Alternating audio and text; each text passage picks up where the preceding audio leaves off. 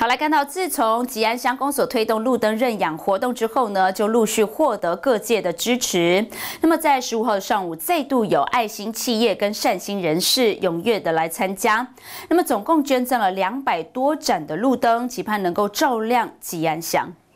吉安乡境内的路灯约有一万两千多盏，每年光是电费支出就要花费将近一千九百万元，庞大的开销也成为乡公所一大财政负担。自从乡公所推动路灯认养活动后，就陆续获得各界的支持响应。而在十五号上午，再度有爱心企业及三星人士踊跃参与，总共捐赠了两百多盏路灯。在我个人认为，我觉得在有乡长带领下，我们吉安乡所有的建设各方面都非常的好。那我们的乡民也都非常的有感。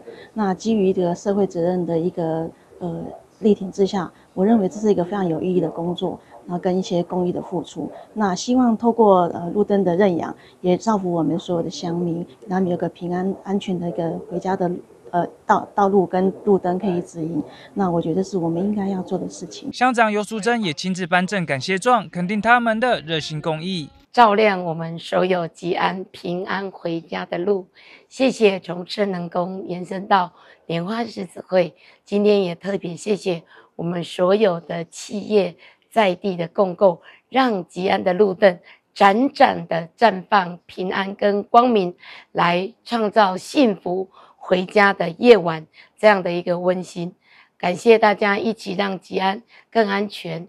我们相信吉安有爱。大家的相亲的守护就能够更健全。再一次邀约所有的相亲好朋友们，让我们一起贡献己力，让我们的照亮的这个光明路灯可以更长远。更扩及到大街小巷。路灯认养的费用一年为新台币八百元。这次特别响应的单位及个人，包含有花莲县不动产开发商业同业工会理事长夏贵勇认养五十盏，消氏企业有限公司六十二盏，爱心企业家包念华五十盏，陈炳阳二十五盏，何志哲二十五盏，以及律师简灿贤二十五盏，总共捐赠了将近两百四十盏路灯，期盼能照亮吉安，提供夜归的用路人一条安全明亮的用路环境。记者徐立琴、吉安祥报道。